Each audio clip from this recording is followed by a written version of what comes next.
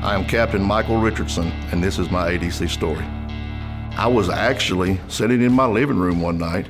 I was self-employed, and I was I had gotten an IT degree, and I was looking for a job for an IT. And my wife walked across the living room floor, and she said, "You looking for a job again?" I said, "Yeah." She said, "ADC's hiring. I seen in the paper." And I applied for a job in IT. Instead of going into IT, I went into security. Working at ADC, there's there's a camaraderie and a and a sense of family that I haven't ever been able to find in any other job I've worked at. For me, it's job security, financial security. I work 14 days a month.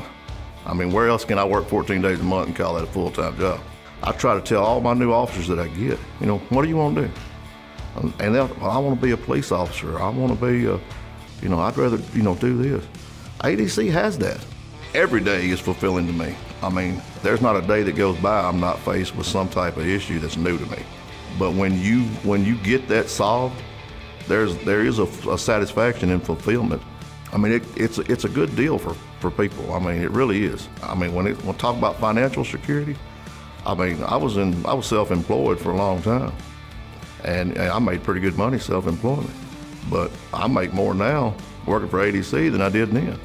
I mean, and that's good for your family. I mean, my family has has uh, prospered, you know, through me working at ADC. I am Captain Michael Richardson, and I am the ADC.